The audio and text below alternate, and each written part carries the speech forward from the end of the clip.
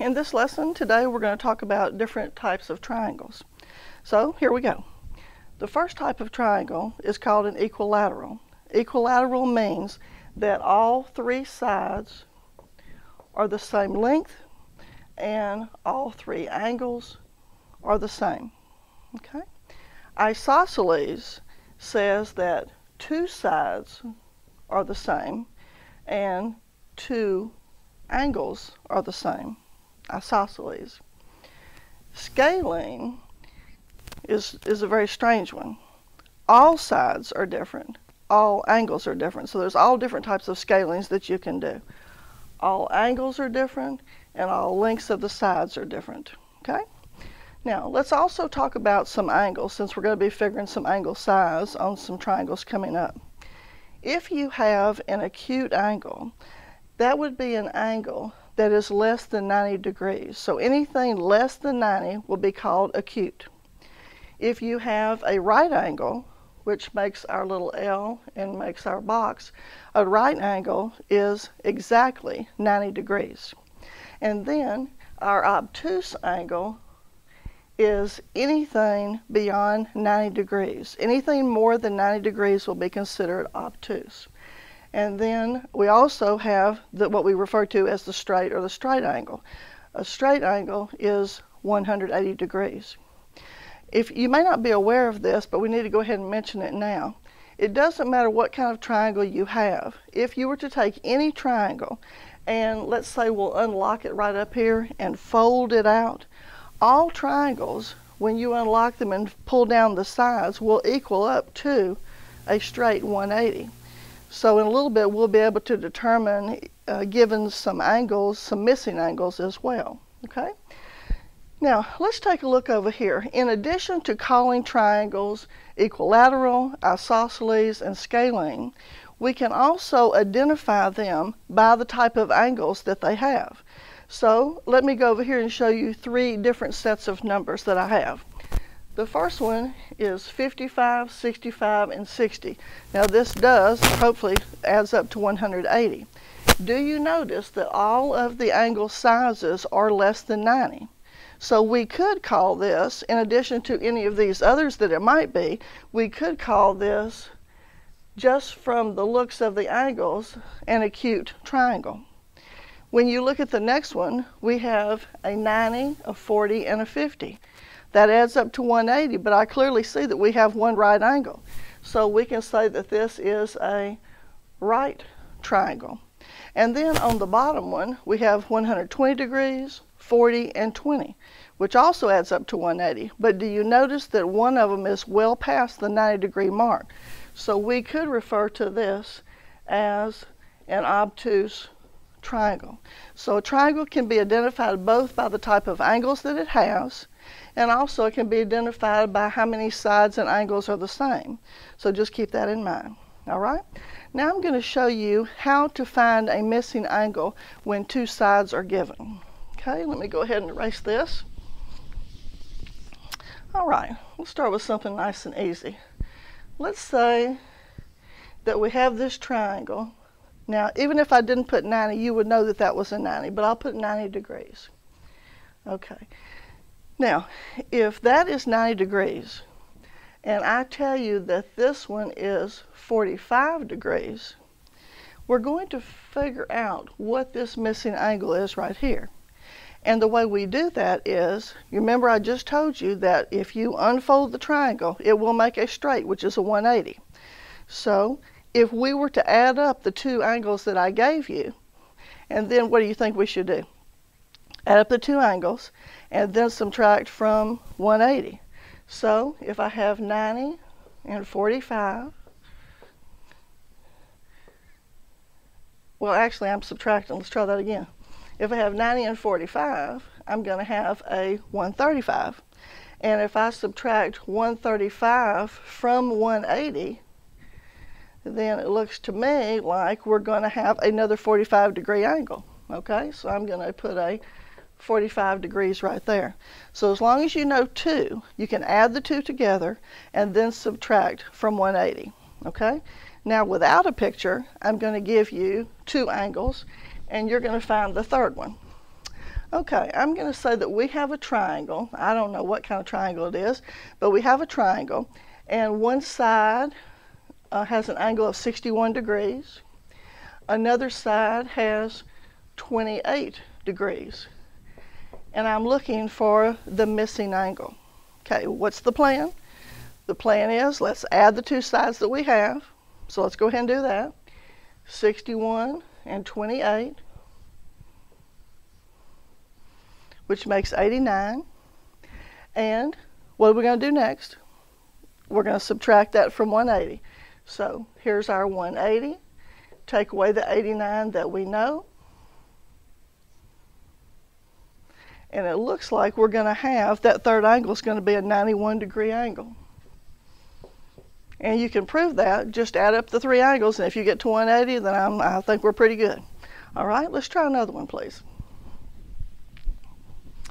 This time I'm going to give you oh, a 34 degree angle and a uh, 103 degree angle and we're going to figure out what the third angle is.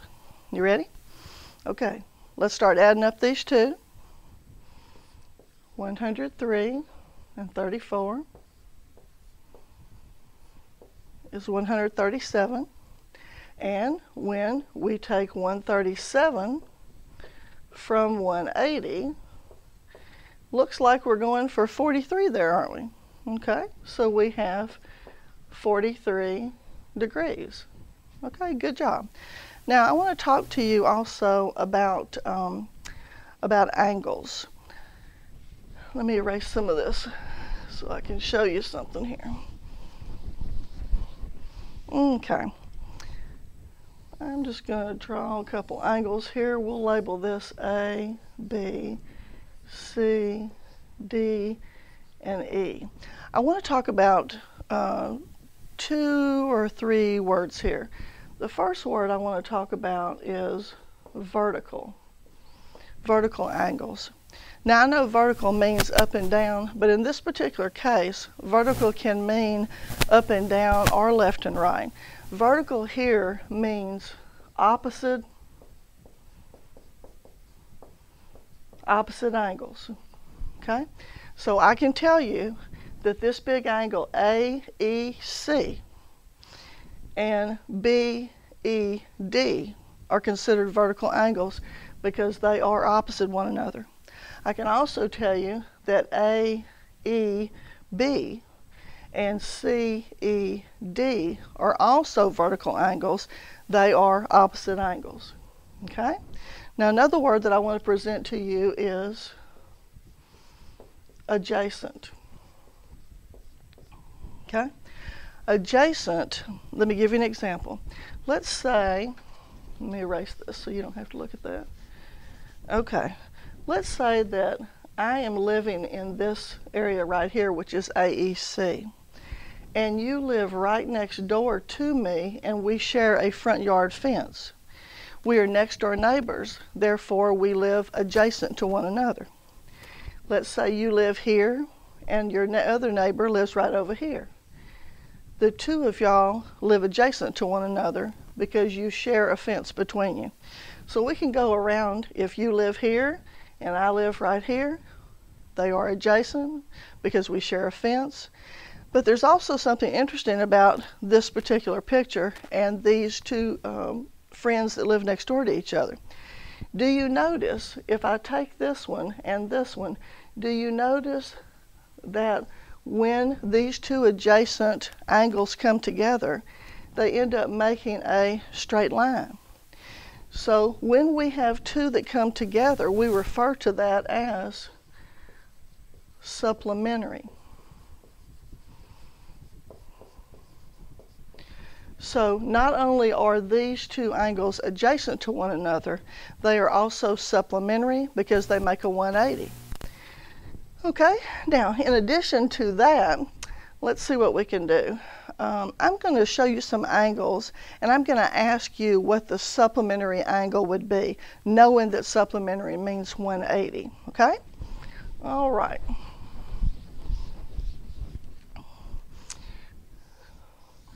Okay, let's say that I have a big O angle and that obtuse angle is 150 degrees.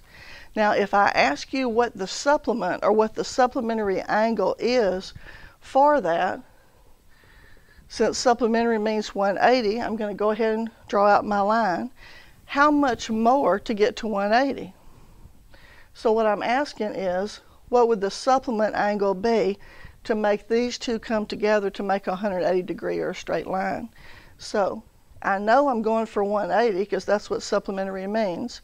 I already have the 150, so I can just subtract.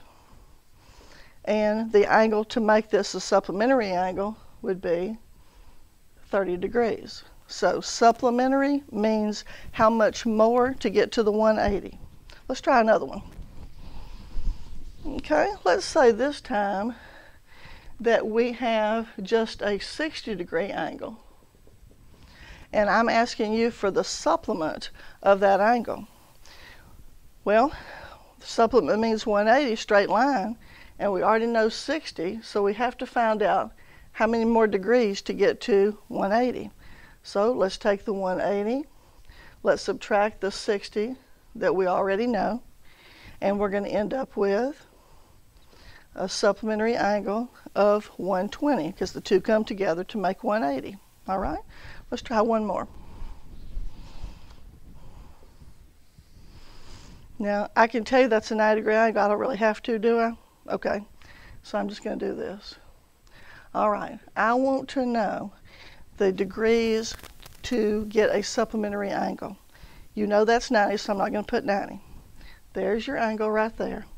How much more to get to 180?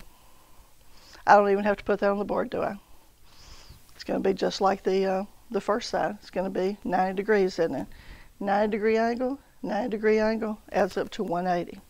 Now, there's another term that we want to talk about, very similar to supplementary, and that term is complementary.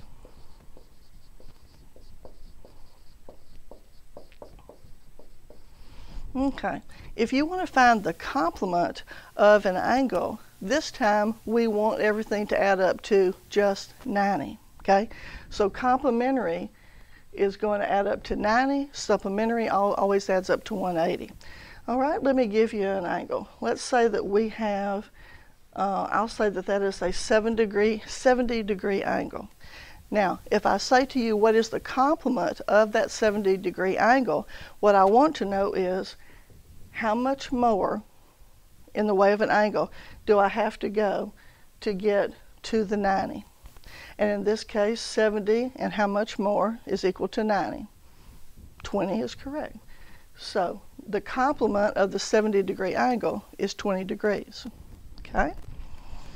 All right, let's try another one. Let's say that we have, oh, a real skinny one, like 10 degree angle. 10 degree angle and I want to know the complement of that 10 degree angle.